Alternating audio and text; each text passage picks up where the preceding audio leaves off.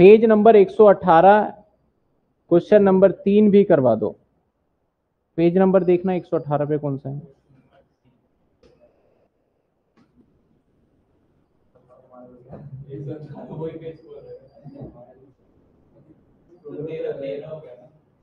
इसके अंदर एक आंसर शायद गलत है मेरे हिसाब से। लास्ट वाला ये कोई तो गलत है, ये सेम ही है, उन्नीस सौ निन्यानवे। क्या आप ये वाला क्वेश्चन कह रहे हो? जिसमें मिनिमम आपका 600 यूनिट है और मैक्सिमम 100 यूनिट है। ये वाला बोल रहे हो?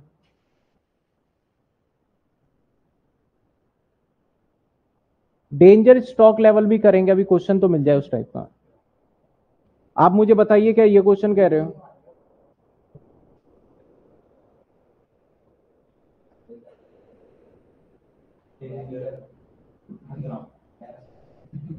मैं इसका सॉल्यूशन ही आपको प्रोवाइड कर दूँगा। बिल्कुल सिंपल है। अभी मैं यहाँ पे करवाता हूँ क्वेश्चन ये, और अभी मिल जाएगा आपको, उसकी चिंता ना करें। मैं एक आगे इस चैप्टर में ना, जब हमने स्टार्ट किया था चैप्टर अरे तो इस चैप्टर को हमने बांटा था कि कितने पार्ट में हम इस चैप्टर को कवर करने वाले हैं। ये देखिए, मैंने कहा था एक तो हम थ्योरी का पोर्शन रहेगा, जो कि हम लास्ट में कवर करेंगे मिड में, क्योंकि मेरा ये मानना है, अगर मैं प्रैक्टिकल समझा दूँ तो ज़्यादा समझ में आता है।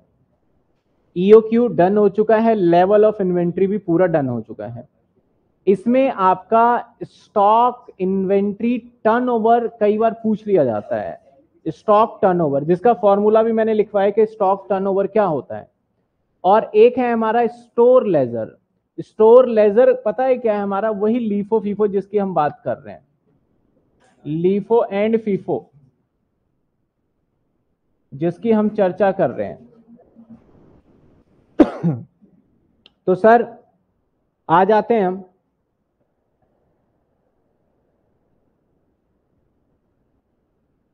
मैंने फॉर्मूला तो लिख दिया था शायद।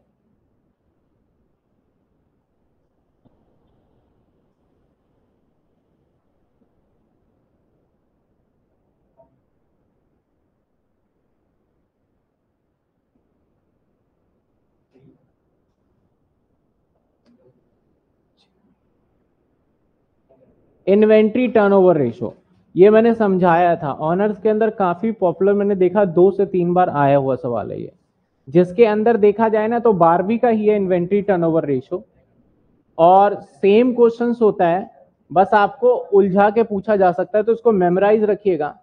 इन्वेंट्री टर्नओवर रेशो इसका हमेशा जो आंसर आएगा, मैंने बताया था किसमें आएगा सर आंसर इसका? टाइम में आंसर आएगा। और turnover ratio cost of material consume during the period मतलब सीओजीएस इसके बाद cost of average stock held during the period यानी कितना एवरेज स्टॉक है, जिसको मैंने एवरेज स्टॉक नाम दिया था शॉर्ट में भी लिखा था हमने। सीओजीएस का फॉर्मूला क्या होता है? ओपनिंग स्टॉक प्लस में परचेज माइनस में क्लोजिंग स्टॉक जो कि पहले था, वही है फॉर्मूला नहीं बदलने वाला। एक ये भी कह सकते हैं हम यहाँ पे। लेकिन यहाँ पे पता है, समस्या कब आ जाता है? मैं बताता हूँ। और एवरेज का फॉर्मूला ये है। चलिए इस पे सवाल कर लेते हैं। इस पे सवाल कर लेते हैं। मैं लास्ट में करने वाला हूँ इसके सवाल। फिर खत्म ही हो जाएगा ये। चलिए सर। इन्वेंट्री टर्नओवर रेशियो क्या होता है sir COGS divided by average stock sir COGS क्या होता है? COGS is equal to plus minus closing sir average stock क्या होता है? ओपनिंग स्टॉक प्लस ये नॉर्मल है। अब देखिए सवाल मेरा। मैं खुद ही बना लेते हैं उस सवाल को, लिख लेते हैं ऐसे एग्जांपल बुक में तो शायद ऑनर्स में शायद गिवन है, लेकिन अब ढूंढना पड़ेगा, इससे बेटर है कि मैं लिख लेता हूँ। मैंने कहा sales ten thousand G P R twenty five percent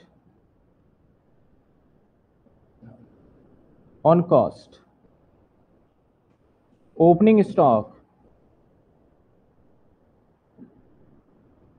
Opening stock एक हजार closing stock more than opening stock more than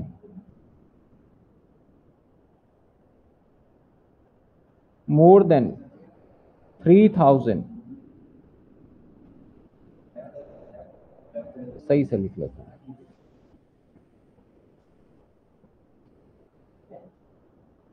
closing stock more than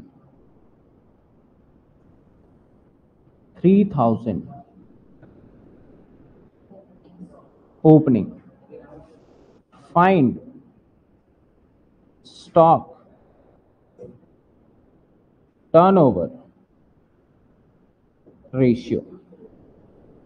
चलिए सर, इस सवाल का जवाब। सिंपल वाला फॉर्मूला लगाने वाला सवाल दिया जाए तो मैं जानता हूँ कर लोगे, फॉर्मूला लगाना है। लेकिन यहाँ थोड़ा कॉम्प्लिकेटेड कर दिया। और ये सवाल पूछोगे, सर, क्या ये मटेरियल चैप्टर का है? मैं बोलूँगा, नहीं, बस कहीं ना कहीं मटेरियल वर्ड यूज़ हो रहा है इसमें ज़्यादा से ज़्यादा, इसलिए डाल दिया गया है। सबसे पहले फॉर्मूला लगाते हैं सीओ जी एस तो C O G S is equal to यहाँ यूज़ होगा सेल्स माइनस जीपी क्योंकि यहाँ कहीं भी सवाल में आपको परचेज नहीं दे रखा अगर आपको परचेज दे देता तो हम ओपनिंग माइनस में क्लोजिंग लगा लेते हैं। तो सेल्स माइनस में जीपी तो sir C O G S नहीं पता एक्स सेल्स पता है सर, दस हज़ार। और जीपी कहता है कॉस्ट के ऊपर, और ये ना हमारा कॉस्ट ही होता है। ये हमारा एक तरीके से कॉस्ट ही होता है। इस बात का ध्यान रखना है आपको कि ये हमारा कॉस्ट ही होता है। तो क्या करेंगे हम? X का कितने परसेंट तो x बाई फोर इसको सॉल्व करेंगे। X प्लस में x by four is equal to ten thousand X की वैल्यू निकाल लेंगे। X की वैल्यू निकाल के, निकल के आएगा कितना सर आठ हज़ार। सीधा मैंने निकाल लिया। X की वैल्यू क्या आ गई? और x क्या है हमारा? कॉस्ट है। अब हमें निकालना है ओपनिंग स्टॉक तो गिवन है। क्लोजिंग स्टॉक क्या कहता है घुमा के? कि क्लोजिंग स्टॉक जो होगा, वो ज़्यादा होगा तीन हज़ार। किससे? तो सर, यहाँ ओपनिंग स्टॉक होने वाला है एक हज़ार और क्लोजिंग स्टॉक होने वाला है चार हज़ार। अब सारी बातें मिल गई आपको। अब फॉर्मूला लगा दो। आई टी आर मैं शॉर्ट फॉर्म में लिख रहा हूँ। आठ हज़ार divided by average stock average stock.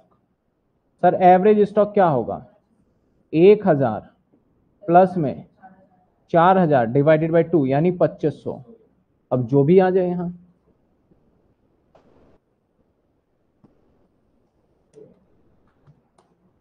Three point two. तो लो जी, एक इस टाइप का भी सवाल कर लिया। बताइए कोई डाउट।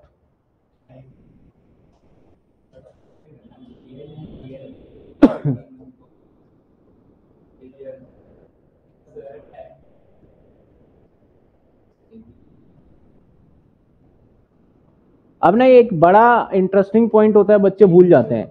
एक वर्ड होता है मोर देन एक होता है वर्ड टाइम अगर मैं यहाँ पे लिख देता, इसी सेंटेंस की जगह पे क्या लिखता?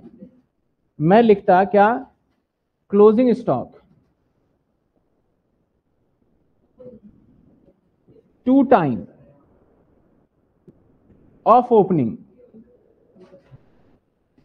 two time का मतलब है दो गुना। यानी सर क्लोजिंग स्टॉक इस सवाल के अंदर आएगा हमारा 2000 तो टाइम का मतलब होता है मल्टीप्लीशन और मोर देन का मतलब होता है प्लस कर देना। और कई बार सवाल के अंदर टाइम मोर देन दोनों का इस्तेमाल कर लेता है। Two time one thousand more than तो टू टाइम तो दो हज़ार हो जाएगा, एक हज़ार और जोड़ेंगे। वो काफ़ी कॉम्प्लिकेशन में चला जाता है। तो बड़ा बेसिक सा देखो, मैं दोबारा एक बार एक्सप्लेन कर देता हूँ। मेरे सवाल में क्या था? सर सेल्स दे रखा था। और जीपी कहता है 25 परसेंट ऑन कॉस्ट और ये है सेल्स तो डायरेक्टली इस पे 25 परसेंट नहीं निकाला जा सकता। जीपीआर लिख दिया मैंने। जीपीआर मतलब ग्रॉस प्रॉफिट रेशियो अगर होता सिर्फ़ 25 परसेंट तो मैं डायरेक्टली इस पे 25 परसेंट निकाल लेता। अगर सेल्स पे होता तो साढ़े सात सौ रुपए आ जाता सीओजीएस लेकिन यहाँ पे कॉस्ट कह रहा है। अब सीओजीएस निकालने का फॉर्मूला एक होता है हमारा ओपनिंग स्टॉक परचेज और क्लोजिंग तो ओपनिंग तो है और क्लोजिंग भी है, लेकिन परचेज दूर दूर तक नज़र नहीं आ रहा सवाल में। तो ऐसे सिचुएशन में हम दूसरा फॉर्मूला यूज़ करते हैं क्या? सेल्स माइनस जीपी तो हमने एक और फॉर्मूला यहाँ लगाया COGS is equal to sales minus में जीपी सर, अगर हम सेल्स में से जीपी को घटा दें तो सेल्स क्या है सर? दस हज़ार। और जीपी कहता है कि जो भी तुम्हारा कॉस्ट होगा, और सच्चाई ये है सीओजीएस का मतलब ही कॉस्ट है। तो बोलता है, जो भी कॉस्ट होगा, उसका 20 परसेंट। तो लेट अज्यूम कर लिया हमने सीओजीएस को एक्स तो कॉस्ट का कितने परसेंट कहा? 25 तो मैं अगर इसको एक्सप्लेन करूँ तो एक्सप्लेन में जाओगे तो आप एक्स का 25 परसेंट निकालोगे दैट इज़ 25 बटे 100 करोगे आप। जो कि आपका यही बनेगा अल्टीमेटली कैलकुलेशन जमा घटा करके। इसके बाद हमने x का वैल्यू फाइंड किया दैट इज़ हमारा x था सीओजीएस सीओजीएस यानी कॉस्ट आ गया। अब ओपनिंग स्टॉक और क्लोजिंग स्टॉक निकाल लिया। ओपनिंग स्टॉक तो सवाल में दे ही रखा था कि एक हज़ार है। लेकिन क्लोजिंग स्टॉक को कहता है कि more than three thousand opening कहने का मतलब है क्लोजिंग स्टॉक जो है, वो ओपनिंग से तीन हज़ार ज़्यादा है। तो भैया ओपनिंग एक हज़ार है तो उससे तीन हज़ार ज़्यादा कर दो, यानी चार हज़ार। तो क्लोजिंग आ गया चार हज़ार। अब सिंपली हमने फॉर्मूले में पुट कर दिया। बताइए कोई डाउट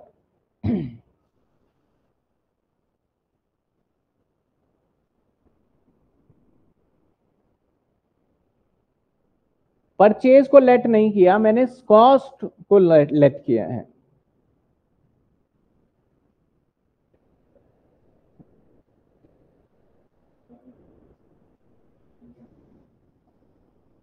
क्लियर अब लीफो फीफो हम अगली क्लास पे लेके जाते हैं लीफो फीफो लेकिन आप पहले सुन लीजिए। लीफो फीफो का टॉपिक को हम अगली क्लास पे लेके जा रहे हैं क्योंकि वो आधे घंटे में नहीं हो सकता, नहीं तो हम अभी कवर करते हैं। अगली क्लास में लीफो फीफो करके हम खत्म करेंगे और उसके स्लाइड भी लग जाएगा। और साथ के साथ कोशिश रहेगी कि हम थ्योरी भी कर लें। सर थ्योरी में क्या कराओगे आप? इस चैप्टर में से सबसे ज़्यादा थियोरिटिकल क्वेश्चन पूछा जाता है। जैसे कि एबीसी एनालिसिस क्या है? एक्टिव एक है एबीसी एक्टिविटी बेस कॉस्टिंग वो नहीं एबीसी एनालिसिस क्या है? ए कैटेगरी बी कैटेगरी और सी कैटेगरी है क्या कॉस्टिंग में? ये समझेंगे। एक स्टोर लेजर और बिन कार्ड के बीच में क्या फ़र्क रहता है, ये समझेंगे। बहुत मोस्ट आपका फ्रीक्वेंटली आस्किंग क्वेश्चन है।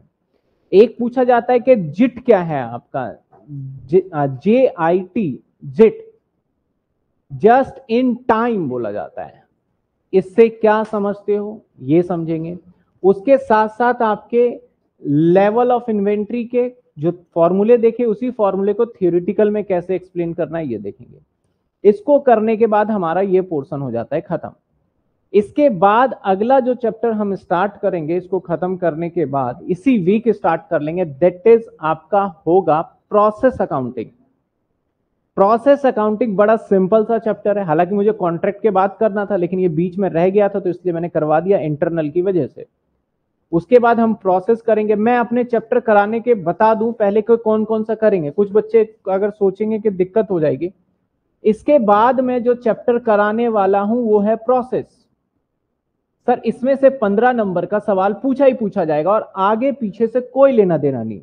यानी मैं जो अब आगे चैप्टर लेके चलने वाला हूँ, क्योंकि डेली बेसिस पे बहुत बच्चे एनरोल होते हैं तो उनको मैं समझा दूँ कि जो भी चैप्टर आगे नया स्टार्ट होगा, आपको इंटीमेशन मिल जाएगा और साथ के साथ आपको उस चैप्टर में बिल्कुल भी ये नहीं सोचना कि पिछला तो कुछ नहीं रह गया कनेक्टेड तो नहीं है, कोई कनेक्शन नहीं रहने वाला पीछे से। इसके बाद नंबर दो पे, इसके बाद अगला जो चैप्टर हम स्टार्ट करेंगे, वो करेंगे हम ओवरहेड, या लेबर कर लेंगे। लेबर काफ़ी बच्चों की शिकायत रहती है हमेशा तो लेबर करेंगे। लेबर के बाद हम करेंगे ओवरहेड, और सर, ओवरहेड में से एक होता है मशीन आवर रेट, और एक होता है डिस्ट्रीब्यूशन, और एक होता है रेट। ओवरहेड को बेसिकली तीन चैप्टर में बांटा गया है। जिन बच्चों का इंटरनल है, वो बार बार पूछते हैं, सर, जो प्रीवियस ईयर के लेक्चर्स हैं, उसमें ओवरहेड पूरा नहीं है? तो मैं उन बच्चों को कहना चाहूँगा, उसमें मैं इन चैप्टर वाइज कराता हूँ मैं ओवरहेड को। यानी एक मैं कराता हूँ मशीन आवर रेट अलग चैप्टर ओवरहेड का ही पार्ट है, और एक ओवरहेड डिस्ट्रीब्यूशन उसे अलग सेपरेटली लेके चलता हूँ। बड़ा चैप्टर है ये। इसके बाद हमारा चार नंबर पे स्टार्ट होगा सर्विस कॉस्ट।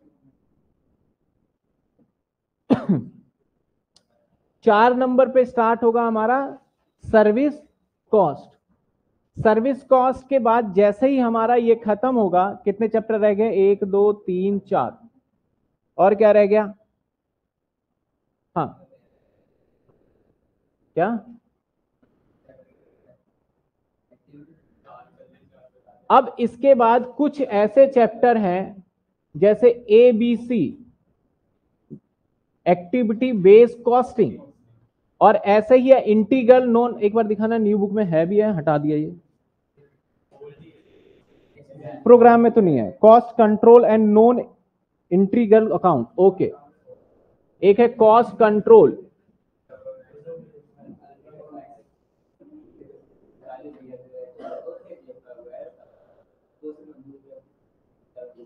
बस। आप मान के चलिए, जो बच्चे स्केयर हो रहे थे कि कैसे करेंगे, जो बच्चा इन चैप्टर देखो हमारा सिलेबस इतना ही पेंडिंग है। ज़्यादा नहीं है इसमें पेंडिंग क्योंकि हमने कॉस्ट शीट कर लिया, हमने रिकंसलेशन कर लिया, हमने कॉन्ट्रैक्ट अकाउंट कर लिया, और हम मटेरियल खत्म करने के स्टेजेस पे हैं। चार चैप्टर डन हो चुके हैं। और एक, दो, तीन और चार चैप्टर ये पेंडिंग है। जिसमें से समय भी मैं बता दूँ, इसके अंदर मुझे लगने हैं दो दिन। लेबर कॉस्टिंग में। प्रोसेस थोड़ा लंबा जाएगा, इसमें मैं वन वीक से प्लस लूँगा, यानी टू वीक मान लो आप। और बाकी इसमें आपका लग सकता है टू वीक प्लस और इसके अंदर लगेगा आपका फोर क्लास तो आप अंदाज़ा लगा सकते हो। मेरा टारगेट ये है कि आपका 15 मई से एग्ज़ाम है। मैं 15 तारीख 15 या 25 तारीख तक अप्रैल में खत्म कर दूँगा कॉस्टिंग तो एटलीस्ट अब इसके बाद सर, जो कुछ चैप्टर मन में आ रहा होगा, सर, आपने सिंगल आउटपुट का नाम नहीं लिया। सर, आपने जॉब बैच कॉस्टिंग का नाम नहीं लिया। सर, आपने जॉइंट प्रोडक्ट और बाय प्रोडक्ट का नाम नहीं लिया। सर, ये दो चैप्टर भी है, इसका नाम नहीं लिया। तो ये सारे हैं थियोरिटिकल बेस्ड चैप्टर बड़े छोटे छोटे चैप्टर जिसके अंदर हम मच टाइम ना लगाएँ। अगर दो दिन में भी तो ये तीन, चार चैप्टर करे ही जा सकते हैं। बड़े चैप्टर ये हैं जिसके अंदर हमारा ज़्यादा समय जाने वाला है। ठीक है ना? तो नेक्स्ट क्लास में हम मटेरियल टू बी कंटिन्यू रखेंगे।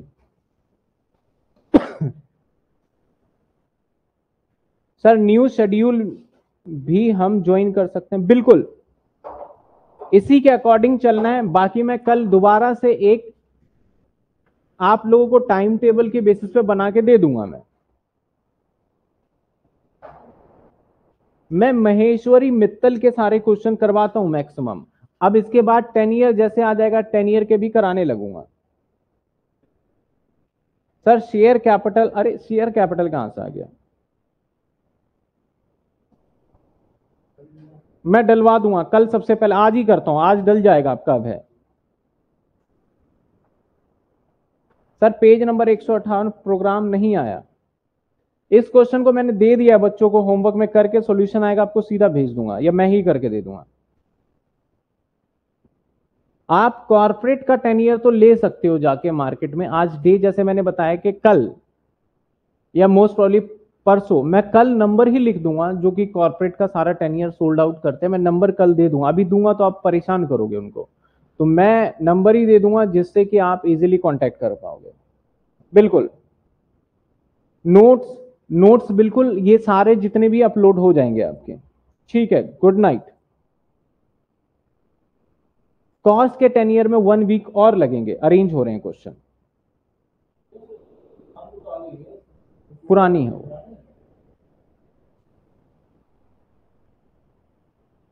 ठीक है।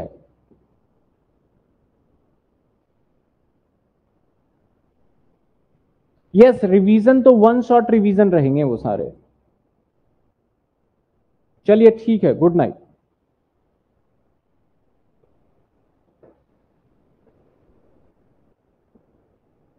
मैं चेक कर लूँगा, मैं कल से सारे जितने भी वीडियोस में ऊपर नीचे हो गया है नए एप्लीकेशन की वजह से, उसको ही मैं कल से देखना स्टार्ट कर रहा हूँ। Okay good night